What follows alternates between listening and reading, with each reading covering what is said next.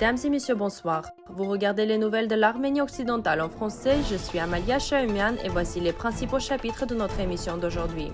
Le dixième anniversaire du gouvernement de l'Arménie occidentale. Qu'est-ce que les Arméniens ont laissé à Chouchi 1915, Arménie occidentale. Un service commémoratif pour les martyrs arméniens a eu lieu au cimetière arménien d'Ispahan. Les États-Unis ont réagi durement aux allégations de participation des États-Unis à la tentative de coup d'État en Turquie. Site touristique de l'Arménie occidentale, la ville de Martin, patrimoine culturel immatériel arménien dans le périodique Patrimoine vivant de l'UNESCO.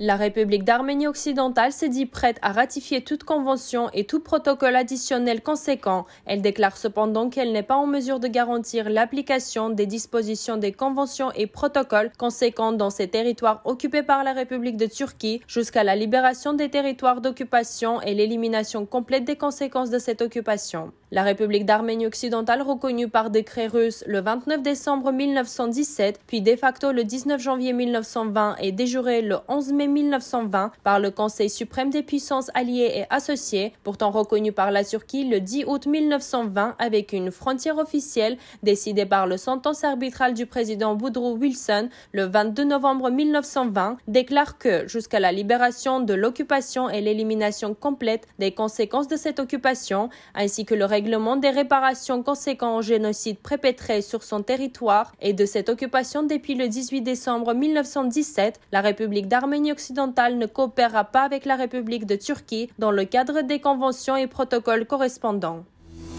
Nous vous présentons l'article publié par l'agence Sputnik arménien. Le prince d'Artsakh, Melik Shanazar, pensait-il que son union avec Pana Ali, le chef de la tribu turcophone des Jivanshir, qui devient plus tard Khan, conduirait à ce que Chouchi devienne un symbole de la confrontation arméno-azerbaïdjanaise. Les districts arméniens de Chouchi étaient situés dans les parties supérieures et centrales de la ville. La partie supérieure occidentale de Chouchi a commencé à être construite en 1805 lorsque le Khanat d'Artsakh a rejoint la Russie. À cette époque, Chouchi était l'une des plus grandes villes de Transcaucasie sa perle. La partie arménienne occupait 65% de toute la superficie de Chouchi et était divisée en 18 districts, Merletsos, Aguletsos, Razanchetsos, etc.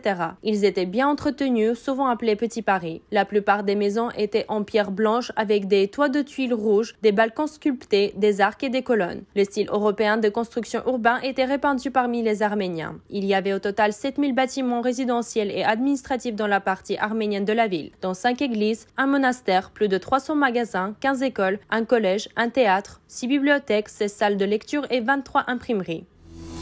Dans son film, l'auteur Nelly Ralibian présente la chronique de la vie des Arméniens qui ont émergé en Arménie orientale à partir de différentes provinces d'Arménie occidentale. Le film présente la population de sept États complets d'Arménie occidentale et une région indépendante, la région de Marash, la taille de la région, la vie culturelle et économique. Il est mentionné combien d'Arméniens ont vécu avant le génocide et combien sont restés dans différents États après le génocide et la déportation. Faisant référence à Diyarbakir, l'historien dit qu'étant dans la partie centrale, il a subi le plus gros coup pendant le génocide. Très peu d'entre eux ont pu échapper au génocide en se rendant à Yerevan et dans d'autres régions d'Arménie orientale. En 1878-1880, lorsque Kharbet a été établie en tant que province distincte, elle a été annexée à des provinces qui n'étaient pas peuplées d'Arméniens et étaient principalement peuplées de Kurdes. C'était une politique spéciale pour que les Arméniens n'aient pas la majorité dans tous les États d'Arménie occidentale. L'historien représente Sébastien qui était démarqué avec la plus grande population arménienne. Le film est disponible avec un lien sur notre site web.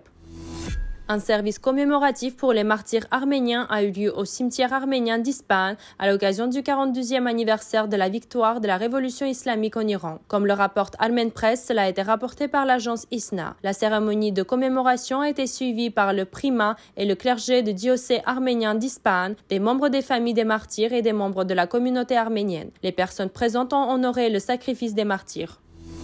Le département d'État américain a nié les allégations du ministre turc de l'Intérieur concernant l'implication des États-Unis dans la tentative de coup d'État de juillet 2016. Les États-Unis n'ont pas participé à la tentative de coup d'État en Turquie en 2016 et l'ont immédiatement condamné. Les dernières allégations du contraire faites par les hauts représentants turcs sont totalement fausses. Ces remarques et autres déclarations non fondées et irresponsables sur la responsabilité des États-Unis dans les événements en Turquie sont incompatibles avec le statut de la Turquie en tant que allié de l'OTAN et partenaire stratégique des États-Unis, a déclaré le porte-parole du département d'État Ned Price dans un communiqué.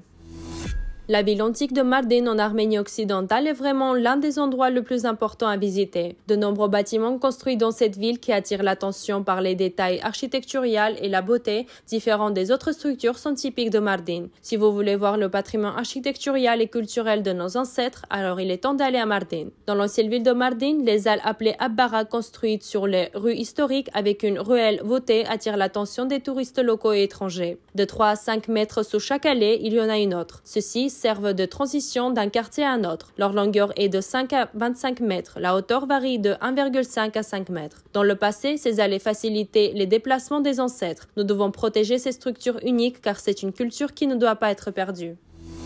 Des articles sur la préservation du patrimoine culturel immatériel arménien ont été inclus dans le périodique Patrimoine vivant 2021 du Centre régional pour le patrimoine culturel immatériel de l'Europe du Sud-Est, parrainé par l'UNESCO. Les articles présentent la diversité du patrimoine culturel immatériel arménien et les manifestations uniques qui se détachent dans ce cadre, ainsi que des revues des activités du musée Institut après Komitas et du musée après Rovanes L'article sur le théâtre d'ombre arménien fait référence à l'histoire et au développement moderne de ce type de théâtre folklorique. Un article intéressant sur l'alphabet arménien présente le programme éducatif Lettres arméniens avec mon stylo du Centre pour les arts Cafesdian. Nous vous remercions pour votre fidélité et à la fin de notre émission, vous pouvez profiter d'un numéro musical dont la version complète est disponible sur notre site web.